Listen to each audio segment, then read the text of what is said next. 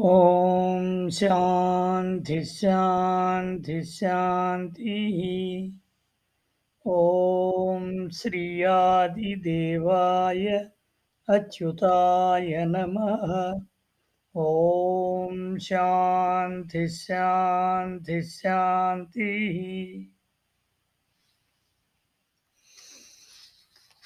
ఇప్పుడు ఆదిత్య హృదయంలో పన్నెండవ మంత్రం.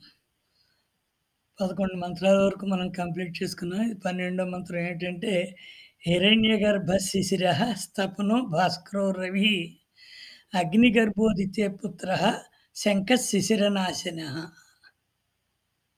హిరణ్యగర్భ శిశిర తపన భాస్కర రవి. చూడండి ఆయన పేర్లు. అగ్ని గర్భ అగ్నిగర్భ అదితిపుత్ర శంఖ శిశిరనాశన.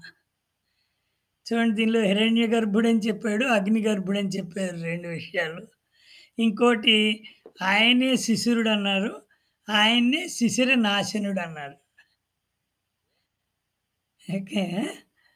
హిరణ్య గర్భుడు అంటే ఏంటి? హిరణ్యాన్ని గర్భంలో పెట్టుకున్నటువంటి వాడు. హిరణ్యం అంటే ఏంటి? ఆ క- రంగు. అది ఎవరి రంగు అది అగ్ని యొక్క రంగు అది కదా? విపరీతమైనటువంటి వేడిని హిరణ్యాన్ని తనలో పెట్టుకున్నటువంటి వాడు గర్భంలోను. అంటే భగవతే హిరణ్య గర్భాయ నమ అనేది ఒక ద్వాదశాక్షరి మంత్రం. మీకు కోరికలు తీర్చుకోవడానికి సూర్యుడిని సూర్య సూర్యరశ్మిలో కూర్చుని మీరు ప్రార్థన చేయడానికి ఏంటి? భగవతే హిరణ్య గర్భాయ నమ అనేది ఒక ద్వాదశాక్షరి మంత్రం అన్నమాట. అది సర్వ జగత్తుకి హితాన్ని కలిగించే రమణీయమైనటువంటి మనస్సు కలిగినటువంటి వాడు. అందువల్ల ఏంటిది? సర్వ జగత్తుకి హితాన్ని కలిగించేటటువంటి అందమైనటువంటి మనసు కలిగినటువంటి మనిషి కాబట్టి ఆయన హిరణ్య గర్భుడు అయ్యాడు అని చెబుతున్నారు. తర్వాత శిశిర చల్లనైనటువంటి వాడు. ఈ చల్లనైనటువంటి వాడు అనడానికి మనకి నిదర్శనం సీతారామస్వామి గారు చెప్పారు. సీతారామస్వామి గారు ధ్యానంలో కూర్చున్నప్పుడు ఒకసారి సూర్యమండలానికి వెళ్ళారట. సూర్యమండలానికి వెళ్తున్నప్పుడు అప్రోచ్ అంతా కూడా విపరీతమైన హాట్ చాలా వే వేడితోటి ఉంది. ఒక్కసారి సూర్యుడి మీద ల్యాండ్ అయిన తర్వాత చల్లగా ఉంది సీతారామ స్వామి గారు చెప్పిన విషయం అది. ఆయన ఎంత చల్లటి వాడంటే అంటే హృదయానికి ఆనందాన్ని కలిగించేటంతటి చల్లటి మనిషి అని చెప్తున్నాడు. తపన బయట నుంచేమో తప్పింపు చేస్తాడు ఆయన వేడితోటి. ఆయన మనిషి ఏమో చల్లటి మనిషి. హిరణ్య గర్భుడు ఆయన చల్లటి మనిషి. తన దగ్గరికి వెడితే ఎంతో ఆప్యాయతోటి చల్లంగా తీసుకుంటాడు. అది అయిపోతే తపన ఆయన మనిషిలో తపనని కలిగిస్తాడు. ఎంత తపనని కలిగిస్తాడు? ఆ వేడి ద్వారా మనిషికి విపరీతమైనటువంటి తపనని కలిగించేటటువంటి వాడు తప్పింప చేస్తాడు భాస్కర భాస్కర్ గురించి ఆల్రెడీ చెప్పుకున్నాం. ప్రకాశింప చేసేటటువంటి వాడు. తన యొక్క ప్రకాశం వల్ల జగత్తులో ఎన్నో వాటిని ప్రకాశించేటట్లుగా చేయగలిగిన వ్యక్తి. అదైన తర్వాత రవి అన్నాడు. భాస్కరుడు రవి. రవి అంటే ఏమిటంటే సమస్త జనుల చేత స్థుతింపబడేటటువంటి వాడు. ఆయన చూసేటప్పుడు ప్రతి వ్యక్తి కూడా అమ్మయ్య ఈరోజు సూర్యభగవానుడు వచ్చేసాడు అనుకుంటాడు పది రోజులు ఎండలు కాస్తే ఎండలు మండిపోతున్నాయి అనుకుంటాం కానీ ఒక్కరోజు వర్షం వస్తే సూర్యుడు ఎప్పుడు వస్తాడా అని ఎదురు చూస్తాం. ఈ వర్షం తగ్గిపోయి సూర్యుడు కనపడితే బాగుండు. భూమి అంతా మళ్ళీ వెచ్చగా తయారవుతుంది అని. ఆయన అలాగా సర్వజనుల చేత స్తుతింపబడేటటువంటి వాడు కాబట్టి ఆయన రవి అన్నట అగ్ని గర్భ. ఆయన లోపల అగ్నిని ఉంచుకోవడం ద్వారా ఆయన మనిషి కాంతితో పాటు వేడిని కూడా వెదజల్లగలుగుతున్నాడు అని అందువల్ల అగ్ని గర్భుడు అన్నారు. 'శంఖః' అగ్నిగర్భం తర్వాత అదితే పుత్ర అదితి యొక్క పుత్రుడు కాబట్టి ఆదిత్యుడు అయ్యాడు. ఓకే. అదైన తర్వాత శంఖ ఈ శంఖ అనేది మీరు చూడండి హృదయాకాశంలో సుఖాన్ని పొందినటువంటి వాడిని శంఖుడు అంటారటండి. అంటే పరమశాంతిని అనుభవించేటటువంటి వాడిని శంఖుడు అంటారు. అంటే ఆత్మజ్ఞానాన్ని పొందినటువంటి వాడిని శంఖుడు అంటారు. ఆత్మజ్ఞానాన్ని కలగజేసేటటువంటి వాడు ఈ సూర్యభగవానుడు. ఆయన లోపల ఎప్పుడూ కూడా సుఖాన్ని పొందుతూ సర్వశాంతితోటి ఉంటాడు కాబట్టి ఆయన్ని శంఖుడు అన్నారు. ఎస్ మనకున్న ముగ్గురు శంఖులున్నారు మనకి. విజయేంద్ర స్వామి, జయతీర్థ స్వామి, సీతారామ స్వామి. వీళ్ళు ముగ్గురు కూడా సూర్యునితో సమానమైనటువంటి వాళ్ళు. వాళ్ళు హృదయంలో పరమశాంతిని పొందినటువంటి మహనీయులు. యోగాచ్యుతుల యొక్క ముఖ్య శిష్యులు వీళ్ళు కదా! అందుకని శంఖః అంటే హృదయాకాశంలో సుఖాన్ని పొందినటువంటి వాళ్ళు. శిశిర నాశన ఇందాకేమో శిశిరః అన్నారు. చల్లటి శిశిర నాశనహ అంటే మంచుని పోగొట్టేటటువంటి ఈయన యొక్క వేడివేడి కిరణాలతోటి మంచుని కరిగించేటటువంటి వాడు. అంతేనా? శిశిరం అంటే ఏమిటి? నీలో ఉండేటటువంటి జాడ్యాలు, తమస్సు. వాటన్నిటిని తొలగించేటటువంటి వాడు. శిశిరనాశనః అంటే అంటే సూర్యోదయంతో మనస్సులో ఆనందంలా పొంగి పొరలుతూ ఉంటుందండి మనందరికీ ఆశాలతలు చిగురిస్తూ ఉంటాయి. ఈరోజు నాకు ఎంతో మంచి జరుగుతుంది. నేను అనుకున్న పనులన్నీ అయిపోతాయి. ఈ కార్యక్రమాలు పొద్దున్నుంచి మొదలుపెట్టి రాత్రి తెల్లవారులు నువ్వు రేపు చేయబోయే పని, ఆ పనుల నుంచి నీ పనులు ఏమేమి కంప్లీట్ కావాలో వాటి గురించి ఆలోచించుకుంటావు కదా! అందుకని ఆనందాన్ని ఇస్తూ ఉంటుంది సూర్యోదయం. ప్రకృతి అంతా బంగారు కాంతితోటి పొద్దున్నే ఉదయకిరణాలు ఎలా ఉంటాయి? బంగారు అన్నితోటి మెరిసిపోతూ ఉంటాయి. శిశిరంలో ఉండేటటువంటి చల్లదనం, మెత్తదనం సూర్యుని వల్లే బంగారు కాంతితోటి లభిస్తూ ఉంటాయి మీకు. ఒకప్పుడు తేజస్సునిచ్చే భాస్కరుడు ఇంకోసారి చైతన్యాన్ని ప్రసాదించి తేజస్సుని వెదజల్లగలిగే రవి కింద మారుతున్నాడు. ఎస్ మీ అందరి చేత పొగడ్తలు అందుకుంటున్నాడు. సర్వజనుల చేత స్తుతింపబడుతున్నాడు. అతని కడుపులో బంగారం ఉన్నట్లే అగ్ని కూడా ఉంది.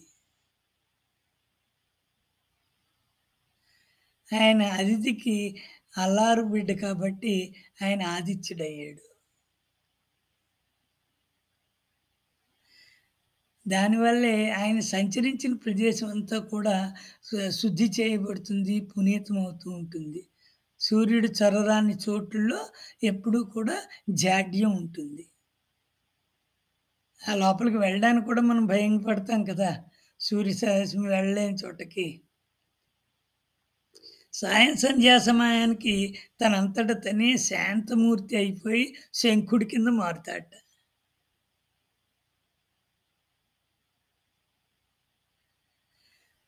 మంచును హరించి మంచిని పెంచేటటువంటి మహనీయుడు ఈ సూర్యభగవానుడే అని చెబుతున్నారు.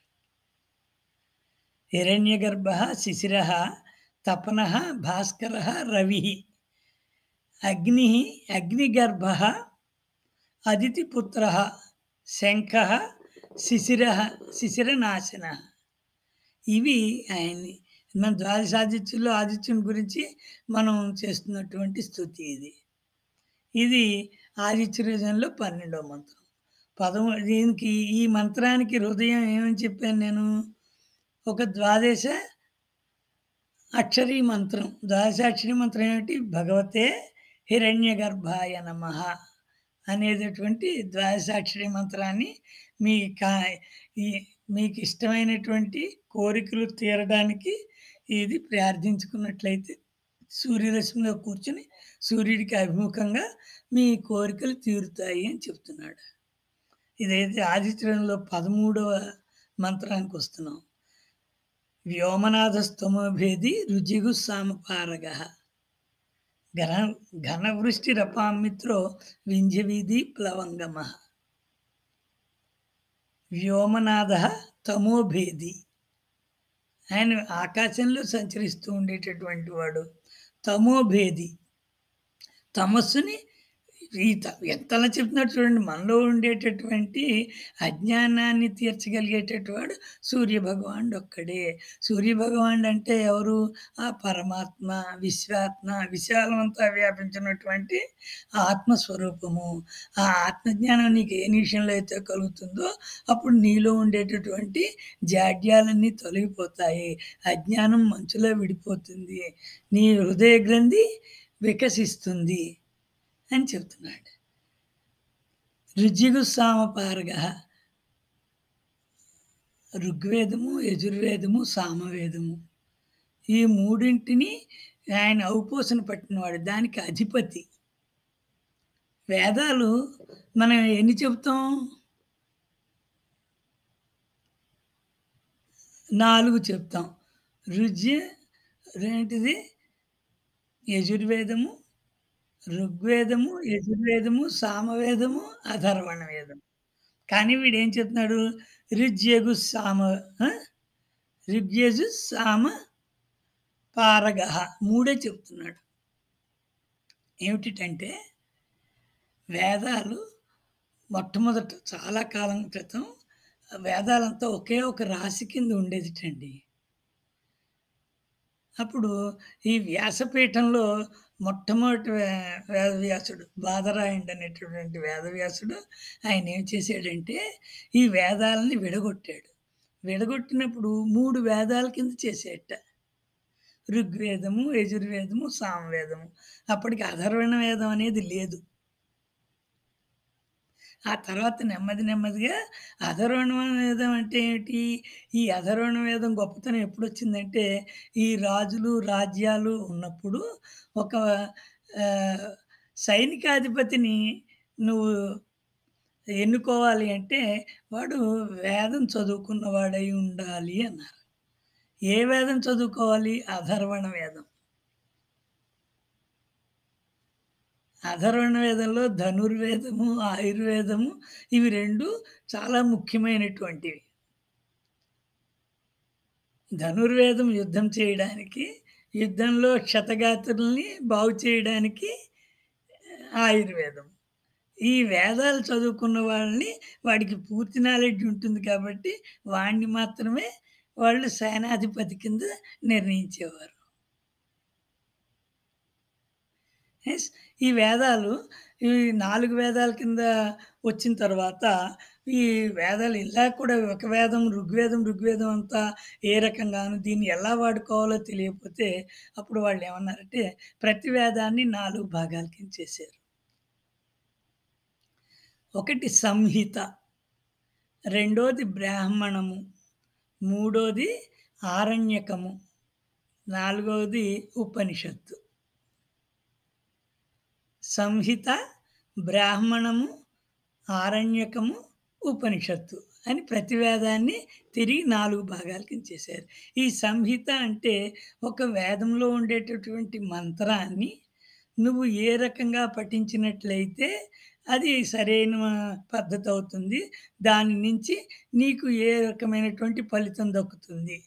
అందుకని అది ఏ రకంగా ఉచ్చారణ చేయాలి, ఉదాత్త, అనుదాత్తాలతో కలిపి దీర్ఘ స్వరితాలతోటి ఆ వేదమంత్రాన్ని ఎలా పఠించాలి అని చెప్పేది సంహిత. సంహితలు ఇంకేం లేదు. వేదం యొక్క టెక్స్ట్ డైరెక్ట్ టెక్స్ట్ ఒక్కటి ఉంటుంది. ఆ టెక్స్ట్‌కి ఉదాత్త, అనుదాత్తాలు, దీర్ఘము, స్వరితము, దీర్ఘ స్వరితాలు వీటన్నిటితోటి అది ఎలా పఠించాలి అనేది మాత్రమే ఉంటుంది. రెండవది బ్రాహ్మణము. ఈ సంహితలో ఉండేటటువంటి ఏ మంత్రాన్ని నువ్వు వాడి, ఏ యాగము, ఏ యజ్ఞము, ఏ క్రతువు చేసినట్లయితే నీకు కావలసినటువంటి ఫలితం దక్కుతుంది. నీకు పుత్రులు లేరు. సంతానం లేదు. సంతానం కావడానికి నువ్వు చేసేటటువంటి యాగానికి ఏ మంత్రాన్ని ఏ రకంగా వాడుకుని దానికి ఉండే క్రమ పద్ధతి.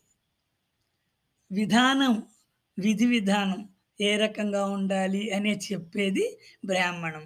ఈ బ్రాహ్మణం నువ్వు ఎక్కడైనా యాగం చేయాలి, నువ్వు పుత్రకామిష్టి యాగం చేసుకోవాలి అంటే అధర్వణ వేదం సారీ ఏ బ్రాహ్మణం ఓపెన్ చేయాలి. బ్రాహ్మణం తీసుకున్నట్లయితే బ్రాహ్మణంలో ఓ పుత్రకామేష్టికి ఈ ఈ మంత్రాలు వాడాలి. ఈ మంత్రం తర్వాత ఈ మంత్రం ఇలా వాడాలి. ఇది వాడిన తర్వాత దీనికి క్రమం, పద్ధతి ఇలా ఉంటుంది. అని అవన్నీ అలా రాసుంటాయి వాటిలో. ఓకే. ఒకటి సంహిత. సంహితలో దాన్ని ఎలా చ చదవాలనేది. రెండోది బ్రాహ్మణం. బ్రాహ్మణంలో ఏముంటుంది? విధానం ఎలా ఉంటుంది? ఈ వ్రత విధానం ఏమిటి? ఈ వ్రతానికి ఏ మంత్రాలు వాడాలి? ఈ యాగానికి ఏ మంత్రాలు వాడాలి? అనేది బ్రాహ్మణంలో ఉంటుంది. బ్రాహ్మణం అయిపోయిన తర్వాత నువ్వు శరీరంలో ఓపుకున్నంత కాలము యజ్ఞయాగాది క్రతువులు చేసేవు చేయించేవు అందరికీ నేర్పేవు నీకు 60 సంవత్సరాలు దాటిపోయాయి. నీ శరీరంలో జీవసత్వాలు సగం తగ్గాయి. ఇప్పుడు నువ్వు ఆ శరీర మన సంసారాన్ని త్యజించి వానప్రస్థానికి వెళ్ళే పరిస్థితిలో ఉన్నావు. వానప్రస్థానికి వెళ్ళినప్పుడు అడవుల్లో నీకు యజ్ఞయాగాది క్రతువులు చేయడానికి కావాల్సిన ద్రవ్యాలన్నీ దొరకవు. కదా! నీకు ఆ ఓపిక కూడా లేదు. అలాంటప్పుడు నువ్వేమిటంటే దానిలో ఉండే పద్ధతి ఏమిటంటే యజ్ఞయాగాది క్రతువులు చేయనక్కర్లేకుండా ఈ పఠనం ద్వారా దానికి చేసే క్రియ ద్వారా నీకు దానికి తత్సమానమైనటువంటి ఫలితం దక్కుతుంది అని ఆరణ్యకాల్లో రాసుంటాయి.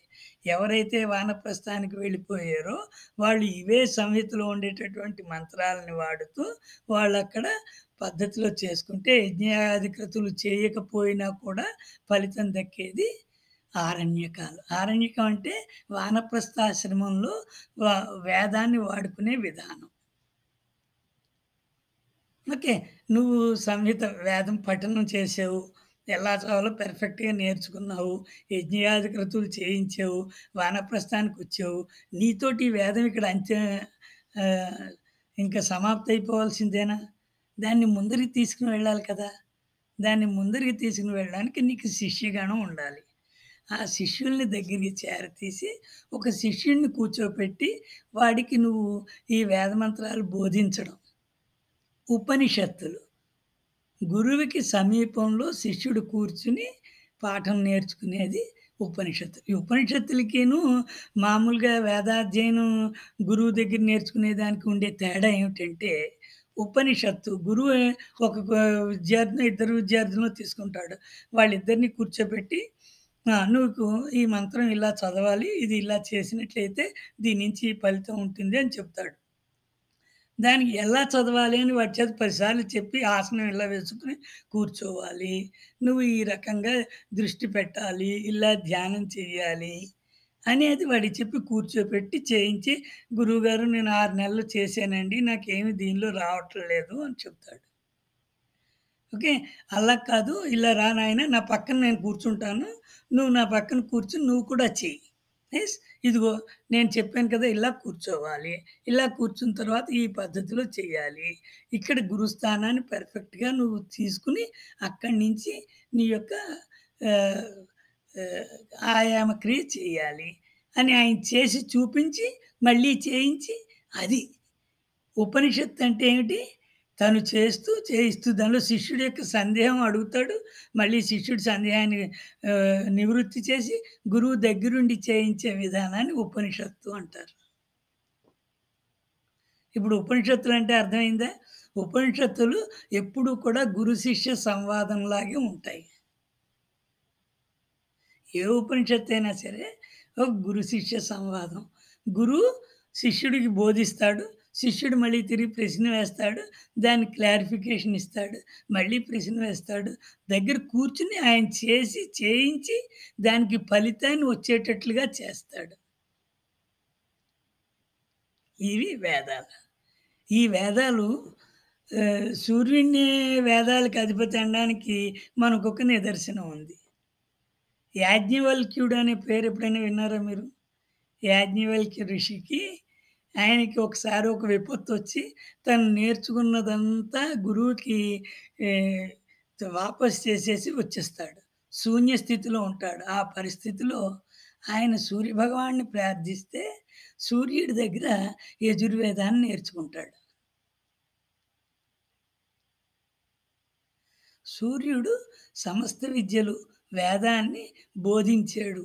ఎవరికి? యాజ్ఞవల్క్యుడికి. అందుకని ఋజ్జిగుస్సామపారగః అని అక్కడ చెప్పారు. ఇక్కడ ఒక్క నిమిషం మనం యాజ్ఞవల్క్యుడి గురించి మాట్లాడుకుందామా మరి? ఎందుకంటే యాజ్ఞవల్క్యుడు అనేటటువంటి వాడు మనకి చాలా ముఖ్యమైన వ్యక్తి వేదాల్లోనూ, ఉపనిషత్తుల్లోనూ, మనం చేస్తున్నటువంటి యోగ విద్యలోనూ కూడాను.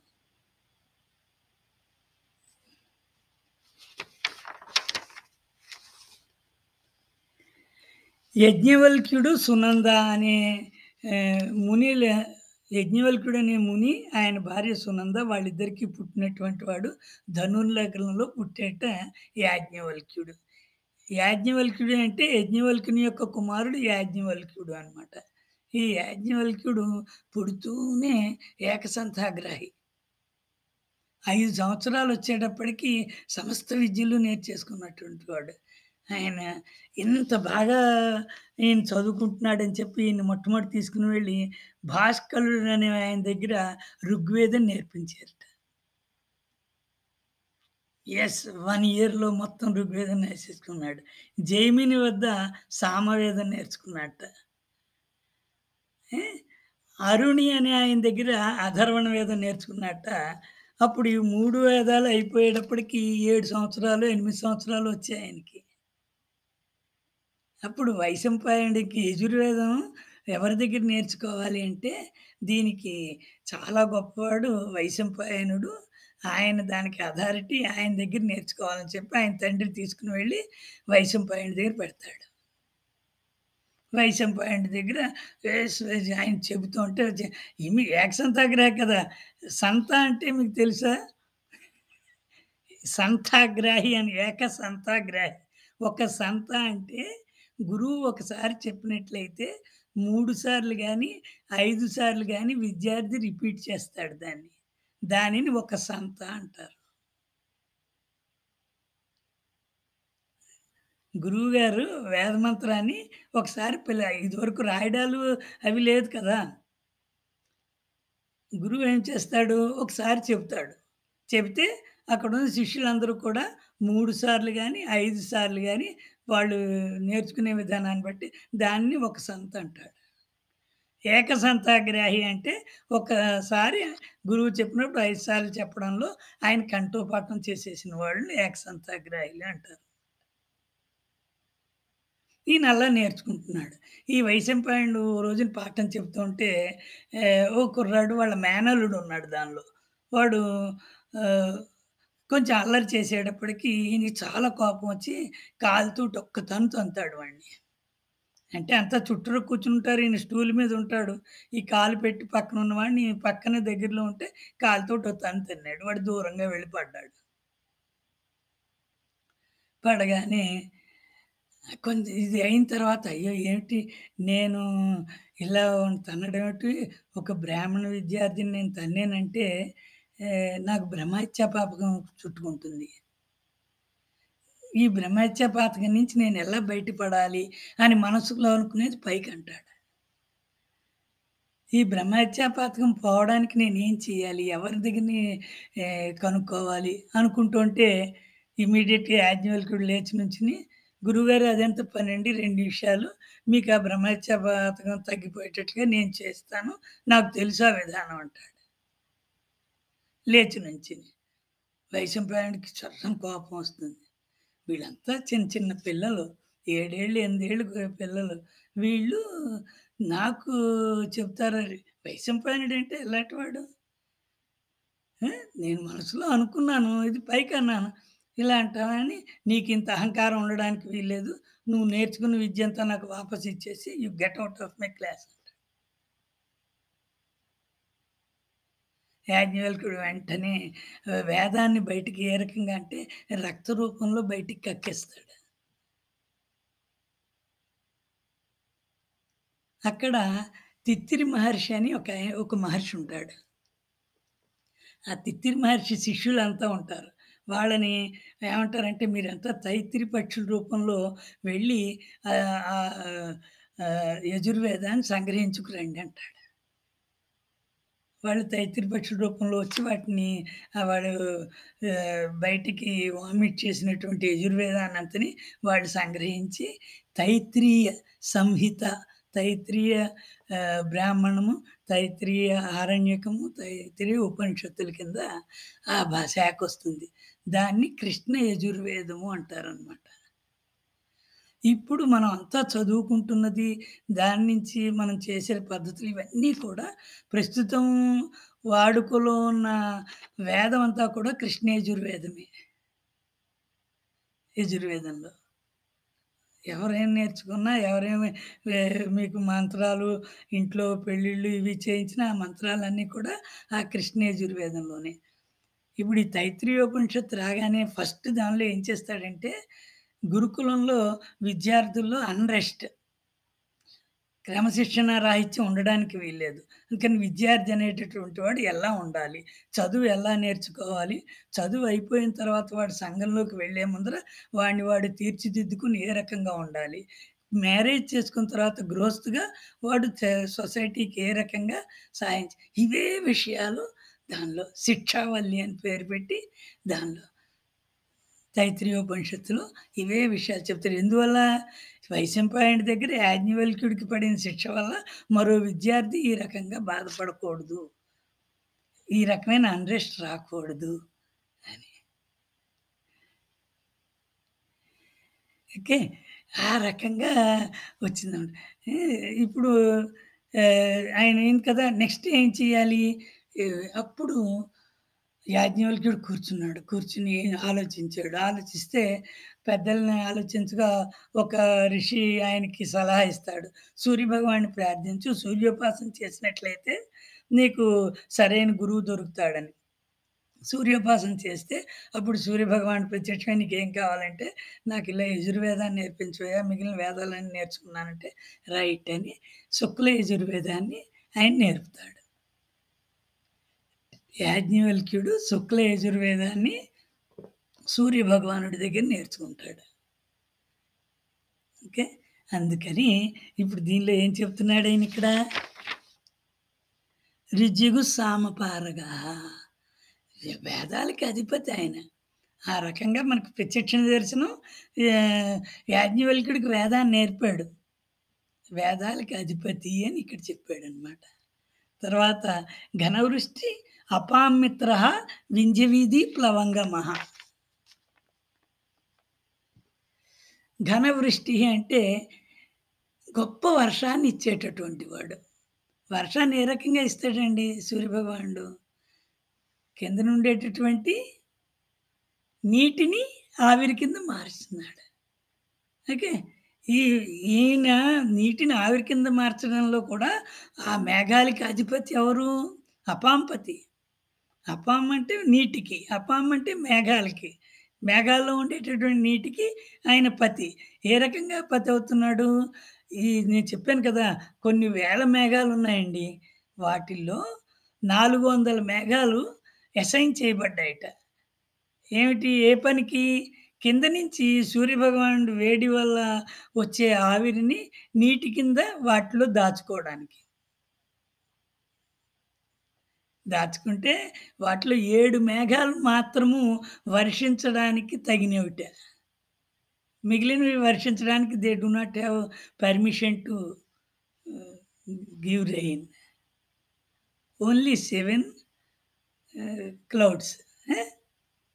Ah! Seven clouds వస్తాయి వీటిలో ఈ సెవెన్లోను ఒక మూడు మేఘాలు ఊర్ధ్వలోకాల్లో కూడా మేఘ వర్షాన్ని ఇస్తాయట.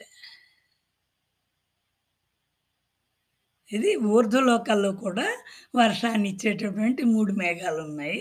మొత్తం ఏడు మేఘాలు మాత్రమే వర్షాన్ని మనకి ఇచ్చేటటువంటివి. బట్ 400 మేఘాలు మొత్తం నీటి నుంచి సూర్యుడి ద్వారా వచ్చేటటువంటి ఆవిరిని సంగ్రహించి మేఘ రూపంలో వాటిని వాటర్‌ని ఉంచేటటువంటివి. ఘనవృష్టి అంటే గొప్ప వర్షాన్ని ఇచ్చేటటువంటి వాడు. ఏ ఈ ద్వాదశాదిత్యులు కూడా సకాలంలో వర్షాలను కలగచేయడం వల్ల సర్వం సస్యాలు ఇంచక్క పండుతున్నాయి. పండిన వాటిని వల్ల ప్రాణులందరికీ కూడా తిండి దొరుకుతోంది. దాటితో పాటు చంద్రుడు ఉన్నాడు కాబట్టి మళ్ళీ మీకు చెప్తున్నాను. సూర్యుడిచ్చేటటువంటి వర్షం ఒక్కదాని వల్లే కాదు. చంద్రుని యొక్క చల్లదనం నుంచి, చంద్రుని యొక్క వెన్నెల నుంచి సస్యాలు మీకు వృద్ధి చెంది దానిలో ఆహారం తయారవుతోంది. ఔషధుల్లో వైద్య గుణం వస్తోంది. వాటన్నిటిని చంద్రుని యొక్క వల్ల ప్రాణులు చాలా సుఖించగలుగుతున్నారు. అపామిత్ర జలములకు మిత్రుడు. ఈ ప్రకాశించే సూర్యుడు ఉదయకాలని ఆకర్షించేటటువంటి జగన్మోహనాకారుడు అని చెప్తారు. నీటిని ఎందుకు అవి పైకి వెళ్ళిపోతున్నాయట? ఆయన్ని మోహించి ఆయనతో కలవడానికని వెళ్ళిపోతున్నాయి నీళ్ళు అని ఇది కవి హృదయం అనమాట అది.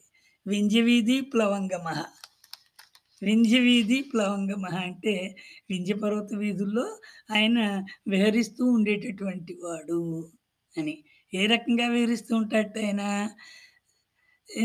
ఉత్తరాయణం, దక్షిణాయనం. ఉత్తరం నుంచి దక్షిణం వైపు, దక్షిణం నుంచి ఉత్తరం వైపు విహరిస్తూ ఉంటాడు. రెండు రకాలుగా ఉన్నాయి. ఆయన తూర్పును ఉదయించి పశ్చిమంలో అస్తమిస్తున్నాడు. కానీ మూమెంట్ ఎలా ఉంటుంది దక్షిణం నుంచి ఉత్తరానికి, ఉత్తరం నుంచి దక్షిణానికి. ఎందుకంటే ఎలిప్టికల్ మూమెంట్లో సూర్యుడు తిరుగుతున్నాడు కాబట్టి ఇక్కడేమో ఈ పక్క నుంచి తూర్పు నుంచి ఇలా దక్షిణానికి వెళ్తున్నాడు. దక్షిణం నుంచి తూర్పు వస్తున్నాడు. ఓకే. వింధ్యవీధి ప్లవంగమ అందుకేను దీనిలో ఉత్తరాయణం, దక్షిణాయనం అని రెండు రకాలు ఉన్నాయి ఉత్తరాయణ పుణ్యకాలం అంటే బ్రహ్మగారికి పగటి పూటని, దక్షిణాయనం అంటే రాత్రిపూట అని అర్థం. ఎవరైతే సాధకులు ఉన్నారో సాధకులందరికీ కూడా దక్షిణాయనం అనేది నీకు సాధనా కాలం అని ఉత్తరాయణం అనేది ధ్యానంలో నీకు వచ్చేటటువంటి ఫలితాలను పొందడం అనేది. ఈ చాతుర్మాస్యం అనేది ఏమిటనుకుంటున్నారు? చాతుర్మాస్యం ఎప్పుడొస్తుంది?